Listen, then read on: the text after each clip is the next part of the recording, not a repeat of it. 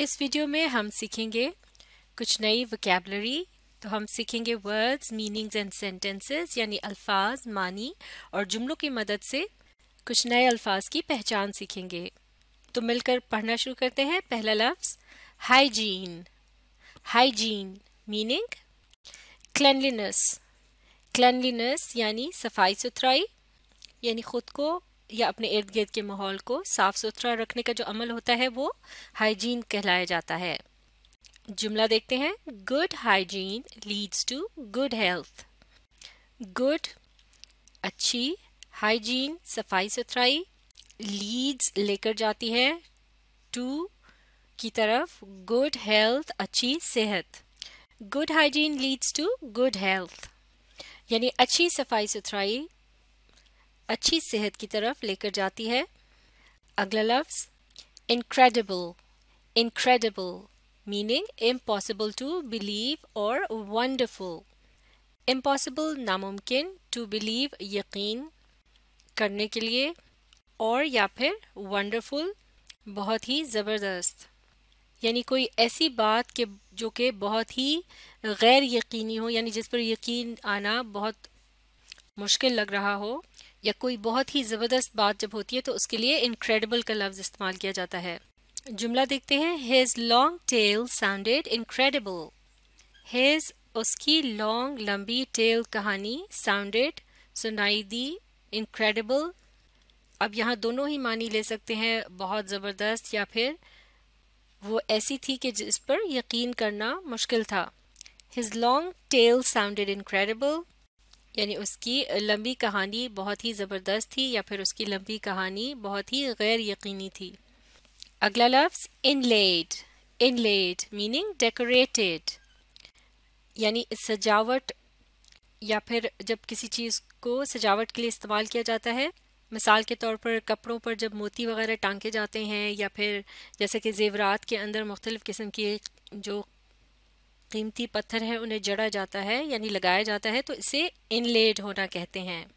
जुमला देखते हैं। The crown was inlaid with pearls the crown Taj was था इनलेड सजाया गया विद साथ पर्ल्स इससे मुराद है सच्चे मोती, जो कि कीमती मोती होते हैं, जो सीप से हासिल किए जाते हैं।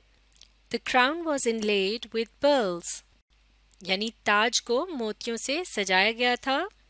या फिर यूँ भी कह सकते हैं कि ताज में मोती जड़े हुए थे। अगला लफ्ज privilege privilege meaning special right और profit gained from something special right यानी ख़ास किस्म का हक या रियायत जो मिलती है, या फिर इजाज़त भी कह सकते हैं, और या फिर प्रॉफिट गेन फ्रॉम समथिंग जो प्रॉफिट या फ़ायदा हासिल किया जाता है किसी भी चीज़ से तो उसे प्रिविलेज कहते हैं। तो उर्दू में प्रिविज प्रिविलेज के लिए हक या रियायत के ट्रांसलेशन के तौर पर अल्फाज इस्तेमाल किए जाते हैं, जुमले की मदद से समझते हैं। The senior citizens had the privilege privilege to sit in the front row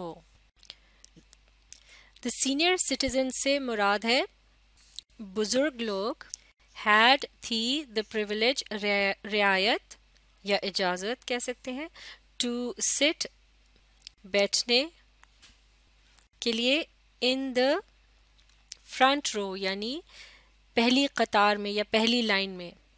The senior citizens the privilege to sit in the front row senior citizens के लिए बुज़ुर्ग शहरियों का लफ्ज़ भी इस्तेमाल हो सकता है।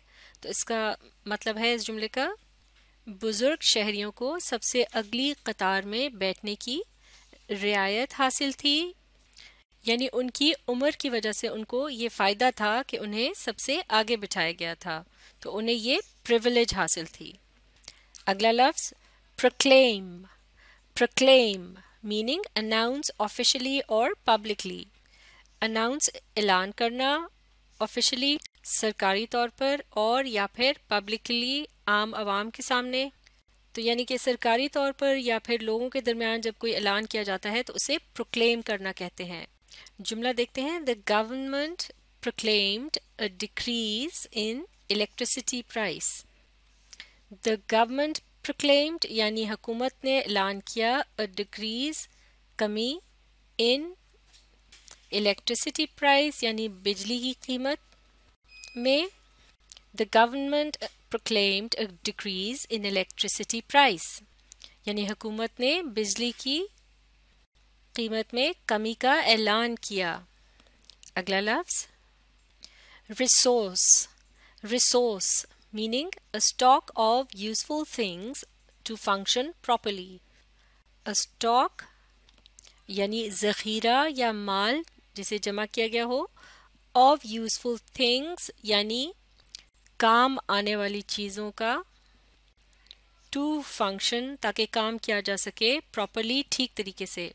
A stock of useful things to function properly यानी ऐसी चीज़ों का ज़ख़ीरा मौजूद होना कि जिनकी मदद से ठीक तरीके से काम किया जा सके तो ये ज़ख़ीरा जो है, ये रिसोर्स कहलाया जाता है।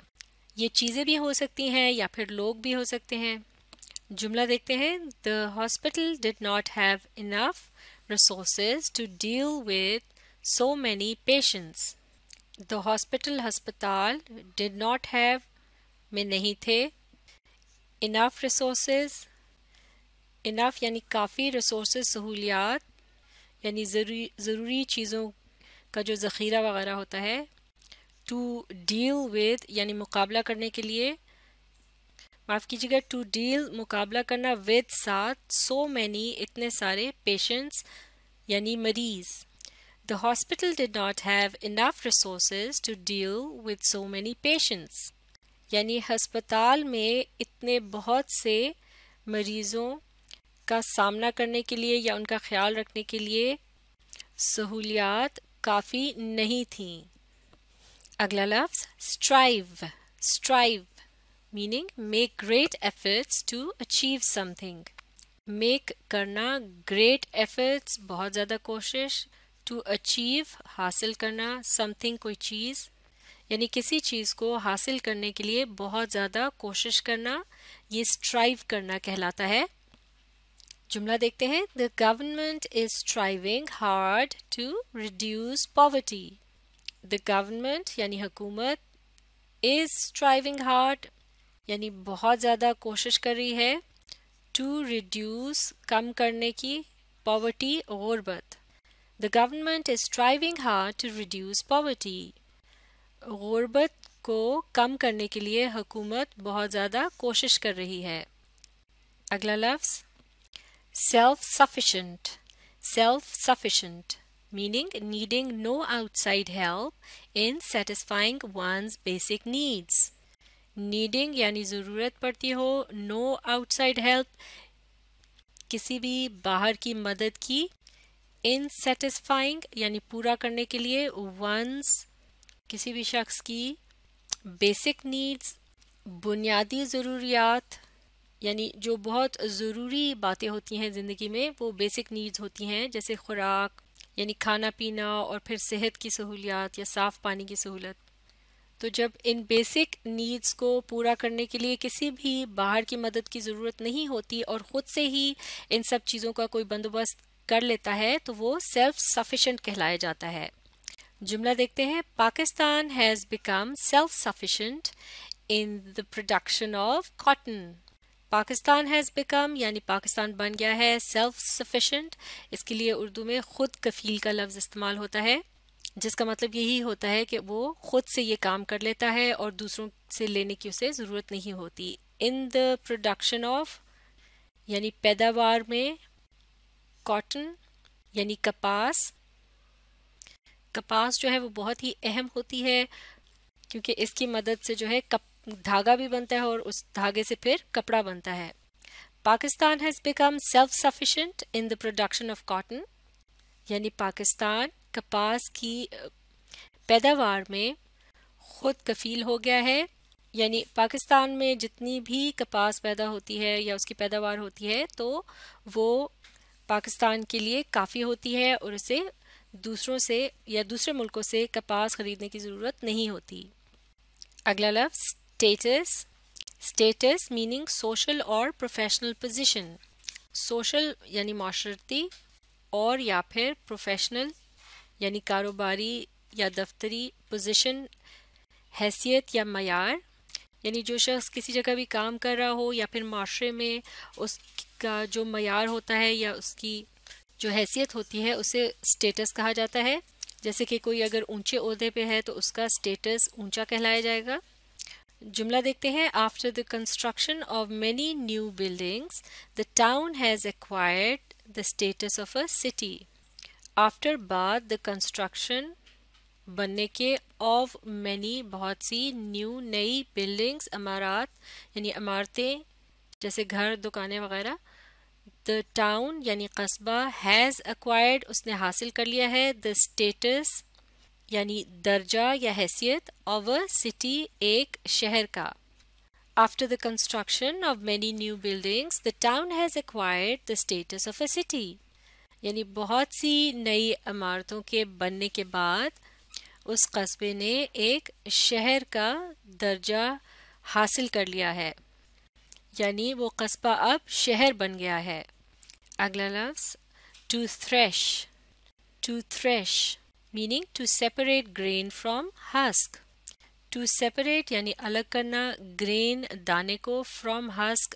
उसके छिलके से, यानी जब दानों को छिलकों से अलग किया जाता है तो इस अमल को थ्रेश करना कहते हैं। जुमले की मदद से समझते हैं the farmers use special machines to thresh the wheat crop the farmers किसान यूज़ इस्तेमाल किया स्पेशल मशीन्स ख़ास किस्म की मशीनें टू थ्रेश यानी दानों को छिलकों से अलग करने के लिए द वीट क्रॉप यानी गंदुम की फ़सल। The farmers use special machines to thresh the wheat crop यानी गंदम की फ़सल के दानों को छिलकों से अलग करने के लिए किसानों ने ख़ास किस्म की मशीनों का इस्तेमाल किया। तो ये थे चंद अहम अल्फाज इन्हें अच्छी तरह से सीखने के लिए आप इस वीडियो के साथ साथ पढ़ने, लिखने और समझने का अमल जारी रखिए और इसे बार बार रिप्ले करके देखने से आप इसे अच्छी तरह से फ़ायदा उठा सकते हैं।